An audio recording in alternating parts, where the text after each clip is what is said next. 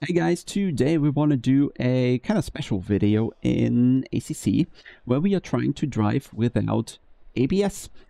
I have complained in the past about other games like Le Mans Ultimate and maybe also Automobilista that the communication of the game in regards to the hypercars where you do not have ABS could be better and the driver could be put in charge of the car more if there was more information available. So today we're going to test how ACC would handle that situation without ABS.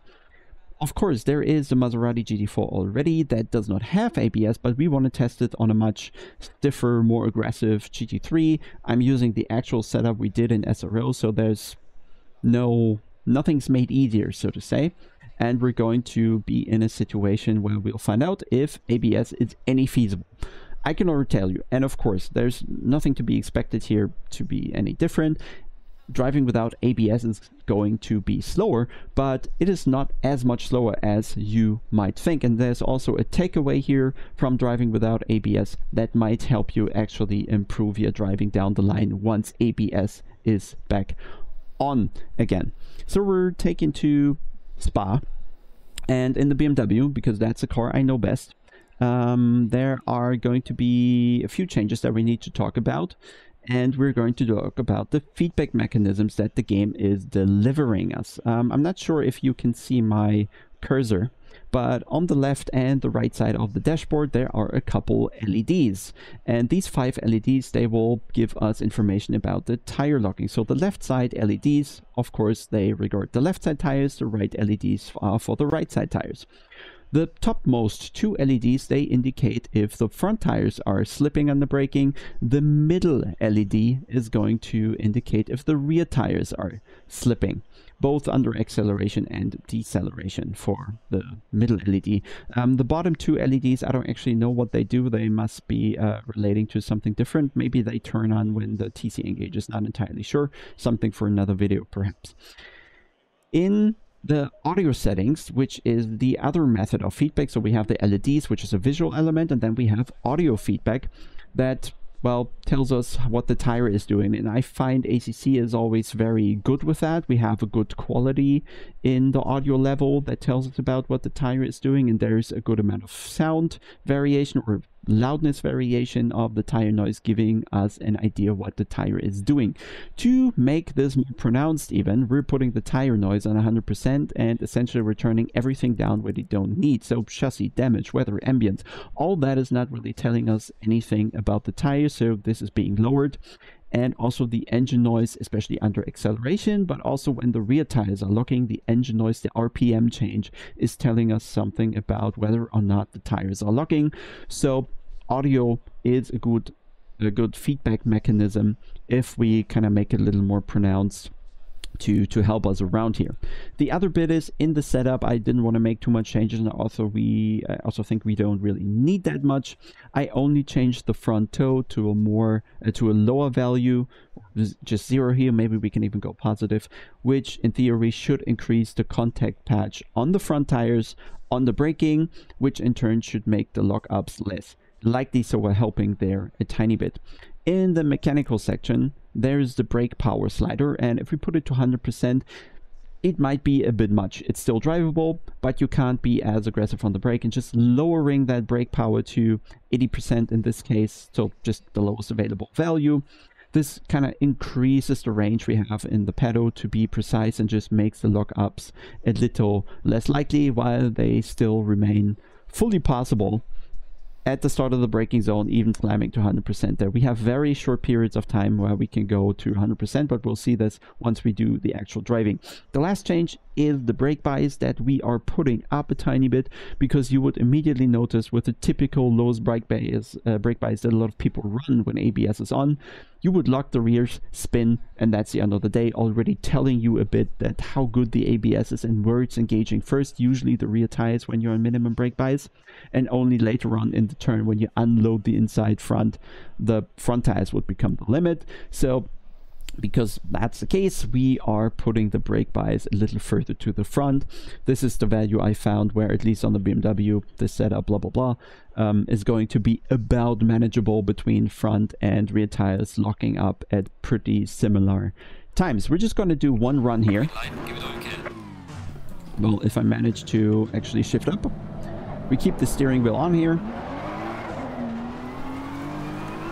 And then go a bit for a lap. And what I want you to do here, doing while watching me do this, is take a look at the LEDs that I introduced to you to, and try to listen into the audio clues from the tires. The last element, of course, is the force feedback and we will mainly have the force feedback when we are locking the rear tires as then the rear steps out and of course immediately we'll get the force feedback to indicate the oversteer and kind of self-correct in that regard but when the front tires are locking I have to say the force feedback does not deliver anything not too much so this is not kind of the, the feedback mechanism that we are going to use to judge what the car is doing here on the brakes now that the ABS is off.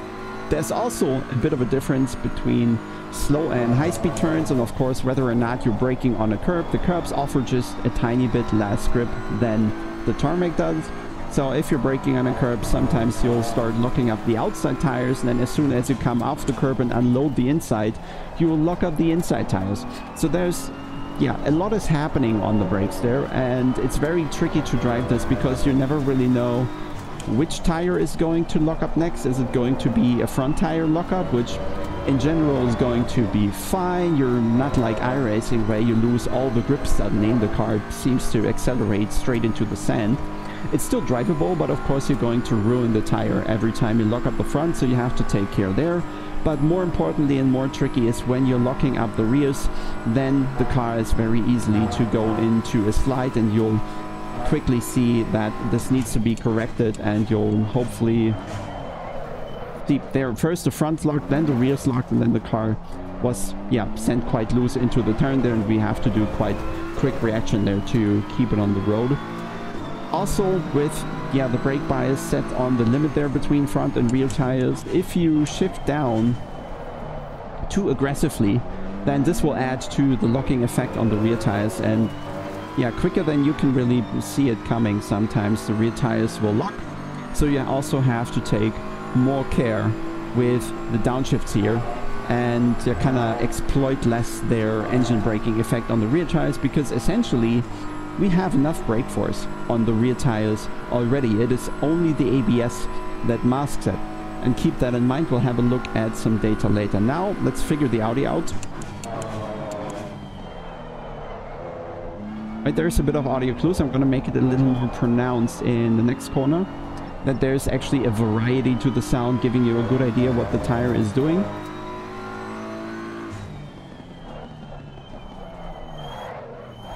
Right, there's a good amount of variation in the audio level that allows you to get an understanding while driving of how much slip you currently have on the tire, how close you are to actually locking up but of course, the entire thing is much snappier. If we're too aggressive here, the rear is immediately going to step out. I then lock the inside front, which saved me in this regard because it stabilized the car. But if we're too aggressive here on the brake, it's usually the, the rear tire here that's going to lock and then we get this problem. So we have to be very on the lookout here for what the car is trying to tell us and how much brake input we can actually do. Here is also very very tricky because the banking of the track and the elevation falling off into the corner a little makes the car very light on the front tires so a lockup is very very easy.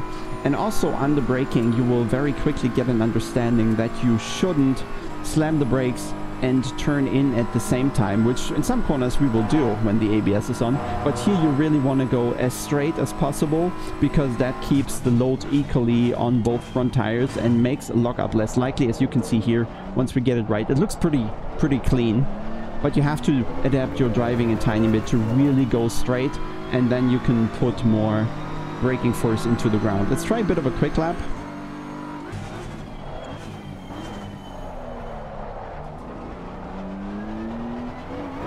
Not quite nailed the apex and nailed the apex there. But of course also I don't want to be too aggressive here. Want to at least so show some reasonable lap. I'll later go for a replay that I already recorded yesterday where I had a bit more focus, especially during talking. This is quite difficult to do a fast lap, where you'll see what is I think is possible turning the ABS off. There's always a 10 here and there perhaps, but I think this lap was pretty good and it's much faster than I thought we could be. Breakpoints, they are ever so slightly earlier just so I have more range later on in the braking zone in the trailing phase into the turn to let go of the brake a little when something should lock up. If I'm braking as aggressively as with ABS or as late as I would do with ABS, then it's very likely to overshoot the turn because you'll eventually get one tire that is locking up and you'll have to let go so much of the brake that you can't really slow down anymore for the turn. You'll eventually miss it. So for that reason, yep, there you go. The rear just ever so slightly loose into that turn. But if you practice that a little, I think we can actually be faster in Pouhon if we turn off the ABS because we have more options now to put the car sideways and we don't have to do this via setup and aerodynamic settings to make the car pitch sensitive into Pouhon in order to get rotation. We can just induce the rotation with a brake much more nicely in this situation than we could with ABS on.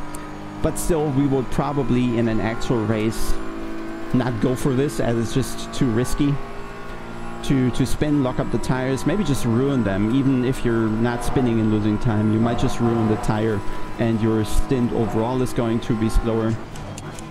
But maybe on a, on a hot lap, I'm not sure if it if it's not a viable option to turn the ABS off for maybe one corner per track or something. One more lap available in the fuel tank, so let's try once more.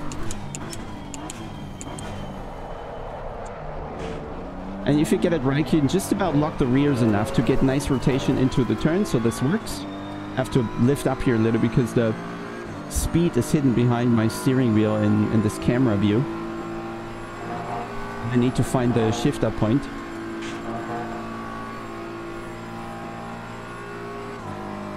But once you get used to this, you, you will find that there's a bit more option for you to play with the car, position it, create rotation, stop rotation. And even though it's it's more tricky and more risky and ultimately still slower than having ABS on, the driving is so much more fun because you're much more in control of the car once you figure out how you can actually do it. And then if you want the rear to come around a little, you just keep the brake pressed a little and then you initiate that nice slide here into the turn, getting the car around. Of course, that uses the tire, heats it up, the pressure increases. Maybe the temperature gets a bit too high. But still, it's just nice to have that option available and to know that 50.3% brake bias is actually enough to lock the rear tires into a turn and do this rotation. So the notion that you maybe sometimes get from other people that we essentially can't go low enough in the brake bias, that is certainly not the case. It is just the ABS that is masking this kind of how the brake bias actually is and which tire is locking. Because I think once you're driving with the ABS, it's very hard to figure out if it's the front or the rear tire is locking because the ABS engages so quickly that you can't really tell or see while you're driving. You really need the data afterwards to analyze whether or not the front or rears are locking, where the problem really comes from. But if you turn off the ABS, it becomes apparent immediately that there's absolutely no need for the lowest brake bias because we definitely have enough brake force on the rear tires there. Okay, didn't quite do the, uh, the 15 here while talking. So let's go quickly over to the data between the lab that I did yesterday and another lab I have from the past, really, which is going to be this one. And we are zoomed in already to the first corner. We have the 15.7 I did yesterday without ABS and a 15.2 I did at some point in the last 10.2 patch or something. Um, and also, this is what Popometer offers on ACC and iRacing, and I think on Mans Ultimate we have it as well. We have a lot of data channels to choose from, and you can build your own sheets to display whatever you want, correlate whatever you want. Um, once you have the subscription, you can build these sheets here. So we have the tires, engine, whatever you want, okay? So what I built here is just, I'll have the brake input, I'll have the wheel speeds, not just the speed the car is doing, but each individual tire, and we'll have slip values for all tires on the car, giving us an indication what is happening now that the ABS is off. So La Source, turn one on Spa, and you can already tell on my fast lap without ABS, I was braking a tiny bit earlier, never really peaking to 100% there. And there's a lot of variation in the brake input because I get this feedback from the LEDs that are flashing up a little, and then the sound goes up a little, and I'm trying to react, and everything gets a bit choppy. It's um, not possible for me, at least, to have the smooth input we often see on iRacing, for example. I feel this is not how ACC works. You can quickly lose and, and regain the grip as well. So if you let go of the brake a little, the tire will spin up again. And if we zoom in a little closer here to where it becomes delicate, Initially, the speed is high enough, we have enough downforce, the tires are not locking, but once we go a little slower, so here around the 150 kilometer mark, once the downforce decreases a bit, it gets more likely for the tires to lock up, and you can see that the slip value on the tires is also increasing. What you can also see is that it is increasing differently on different tires on the car, and that is what makes it so difficult for the driver to yeah do this precisely right? First it is the front left tire that is locking a bit the front right maybe as well. There's a bit on the rear but not too much. Then i lower the brake input here a little bit and you can tell the slip value decreases which also means the lowered wheel speed here this comes back up again. So the tire is now spinning more in line with how fast the car is traveling but it doesn't take long and then it's the rear tires losing the grip and also a front tire. Um, and it is very, a very highly dynamic situation that is very hard to control at the end of the day, right? And this is what I think makes it really interesting because you can see how the limit of the car under braking shifts around from one tire to the other. It's super it's fascinating really um, it's not like in in iRacing where I feel it's always the inside front tire that locks up and then it locks up for an eternity you're not making the turn I feel in ACC even if the front inside tire locks up the outside tire still has enough grip to get the car around the turn you'll only have the issue of destroying the inside tire but you're not losing 200% of grip which is what iRacing often feels like to me and also it is always changing so much throughout the braking zone. There's a lot of room in the slip that the tire allows you. It's not as much on and off as it is on iRacing, for example. There's a bit of variation here. Um, slip goes up, but it's not yet locking. Then slip comes down again. The tire speeds up again. There's more room that the Pirelli tire in ACC is offering here, and this what makes this kind of enjoyable as well to do.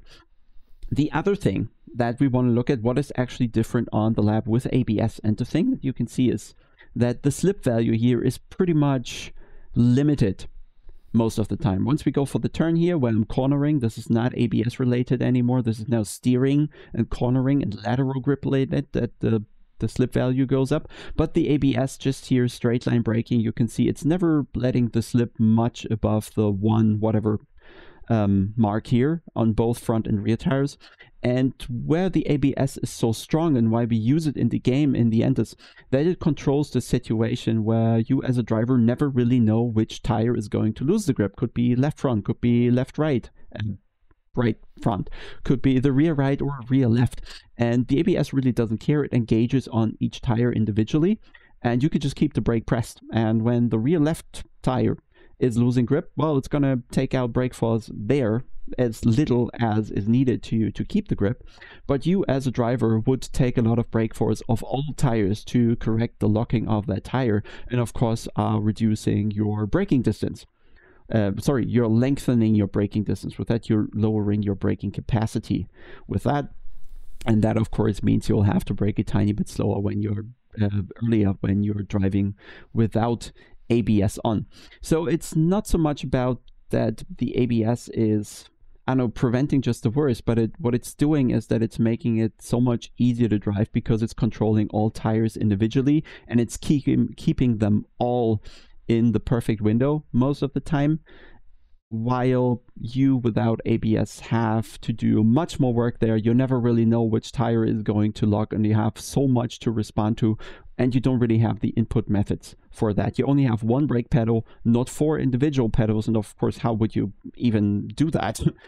um, this is where the the ABS really comes in. It's not so much about the the braking distance or how blunt you are braking. It's just more about how precisely it can act on individual tires to this highly dynamic situation that we have here. And now I'm gonna let you go give you the, the fast lap and then I encourage you to really drive without ABS for a bit, practice that a bit, because it tells you a lot about where the limit of the car is, sorry, wrong screen, where the limit of the car actually lies.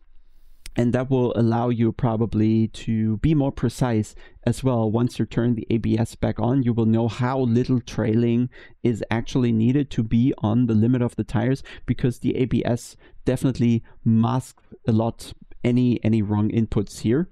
But also, I had the chance when I was in the Nurburgring last week uh, to talk with David Perel, who appeared to be there. Um, nice coincidence there. And of course, as we're sim racers, we talked about uh, the brake first thing. Why not? And he said also in his GT3 in the Ferrari, they are just slamming the brake. So it's not that ACC is unrealistic in that regard. It's not that ACC provides too much grip under braking, for example, as we see doing it without the ABS It's just that the ABS system in ACC is working really, really good. Perhaps you could say it's working too good, but um, depending on who you talk to IRL, maybe it depends on the car you're driving. Some ABS systems IRL seem to be really, really good and in line with what ACC does.